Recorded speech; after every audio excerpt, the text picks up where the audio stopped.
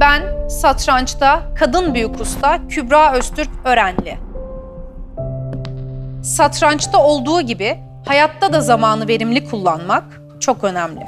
Satranç benim için hayatın ta kendisi. 8 yaşında başladım. İlk defa taşlara dokunduğumdan beri 23 yıl geçti. Evimize çok yakın bir satranç kursu açılmıştı. Satranç öğretmenim İslam Osmanlı ilkokulumuza gelip bir duyuru yaptı. Bir satranç kursu açtığını söyledi ve öğrenci talep etti ve satrançla tanıştım. Ailemin de teşvik etmesi satranca çok çok önemliydi. Zamanımın yaklaşık 8-10 saati o kursta geçti. Doğduğum, büyüdüğüm yerden, mahalleden dışarı çıkmazken 8 yaşında uçağa binip İspanya'da buldum kendimi. Satranç farklı kültürleri görmeme, farklı hayat tarzları görmeme sebep oldu. Çocuk yaşta olduğum için yolculuk aslında çok uzun sürüyor ama dışarıyı izlerken o tarlalara bakmak, o geçtiğimiz köyleri izlemek, farklı insanların yüzlerine bakmak çok değişik bir duyguydu aslında. Satrançta da öyle. Farklı açılışlar oynadığınızda, farklı pozisyonlara girdiğinizde bambaşka dünyalara dalıyorsunuz. Satranç üç aşamadan oluşuyor. Açılış, oyun ortası ve oyun sonundan oluşuyor. Açılışta genellikle hızlı bir süreç oluyor ama oyun ortasına geçtiğinizde artık yavaş yavaş oyunun oturmaya başladığı noktalar oluyor. Eğer çok üstün pozisyondaysam hamle sırasının hemen bana gelmesini istiyorum ki hızlı bir şekilde sona doğru maçı götüreyim. Ama bazen de işte o kayıp pozisyonlarda zamanın hiç bana gelmesini istemediğim e, durumlar oluyor. O an dursun istiyorum aslında zaman. Eşlendirmeler açıklandığında öncelikli olarak o kişinin bütün maçları bildiğimiz bir programda kayıtlı. Oradan hazırlığımızı yapıyoruz. Ne oynayacağını, ne yapacağını önceden kestiriyoruz aslında. Ama tabii ki tahta başında milyonlarca ihtimal var. Kim daha kuvvetli hamleler yapıyorsa, kim daha zamanı iyi kullanıyorsa aslında o kişi kazanıyor demektir. Satranç saati iki mekanizmadan oluşan bir e, sistem. Kim hamlesini yapıyorsa satranç saatine basıyor ve süresi duruyor ve karşı tarafın süresi çalışıyor. Eskiden iki tip saat vardı. Şu an dijital saat kullanıyoruz. Basmalı saatlerde gerçekten o bayrak düşme olayını çok rahat görebiliyorduk.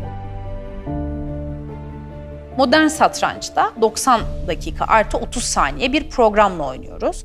Ağır parti diyoruz o 90 dakika artı 30 saniye e, turnuvalarına. Ağır partilerde İlk başta çok büyük bir heyecan olmuyor. Artık elimizin alışkın olduğu bir durum. Çünkü her hamleyi yapıyorsunuz, saate basıyorsunuz. Ama Zeitnot dediğimiz zaman sıkışmasında inanılmaz bir atraksiyon başlıyor. İnanılmaz bir kalp atımızı e, başlıyor. İşte orada zaten e, satranç ortaya çıkıyor. Hızlı olan, zamanı iyi kullanan bir adım öne geçmiş oluyor. Bizde genellikle masalar yan yana oynanıyor. Satranç tahtası saatimiz, satranç tahtası saat diye gidiyor. Benim e, masamda da tam sağımda saatim var. Yanda oynayan kişi çok heyecanlı bir konumdaydı zannedersem. Hamlesini yaptı ve sağ tarafına saate basacakken sol tarafında benim saatime bastı. Bir anda rakibime hamle sırası geçti ama ben hamlemi yapmadım falan. Ellerim başımda e, düşünüyorum. Ben de çok böyle karmaşık bir pozisyondaydım. Bir anda ne oluyor diye yan tarafa baktım. Ben hemen hakemi çağırdım tabii ki böyle böyle bir durum oldu falan diye hemen düzelttiler.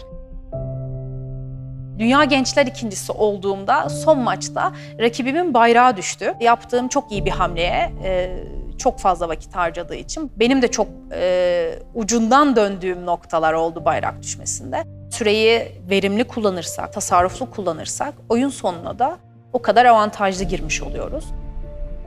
8 yaşında bambaşka duygu. İlk defa uçağa biniyorum, ilk defa ülke değiştiriyorum. 150 küsür kişinin arasında 44. bitiriyorum. 3. senemde dünya 9. oluyorum. Ki bu Türkiye açısından çok önemli bir dereceydi. Derecelerim büyüyerek arttı. 15 yaşında 16 yaş altı kızlar kategorisinde Avrupa şampiyonu oldum. 2008'de dünya şampiyonluğunu paylaştım. Aktif olarak devam ediyorum milli takımda. Hala da her sene bir şeyler yapmaya çalışıyorum, bir dereceler elde etmeye çalışıyorum. Zamanı doğru kullanarak, çok çalışarak ve devamlılık sayesinde satrançta kadın büyük usta oldum. Satranç kendi içinde heyecanı barındıran, dinamik ve aktif bir spor branşı. Avrupa şampiyonu olduğumda son maç 3 saatlik bir maçtı. kazandım ama nasıl kazandım? Son saate bastığımda saatin sesi hala kulaklarımda çınlıyor. Çünkü ben hamlemi yaptım, bastım ve rakibim elini uzattı. Yani artık terk ediyorum uzatmasıdır bu. Herkes e, beni tebrik ediyor ama ben hiçbir şey görmüyorum, duymuyorum. Sadece o çınlama var kulağımda. E, Çünkü Avrupa şampiyonu oldum. Tarif edilemez bir mutluluk ama ben de ekran bembeyaz. Hiç kimseyi görmüyorum. Sesler geliyor ama duymuyorum. Uzun bir sürede e, o şaşkınlığı yaşamıştım.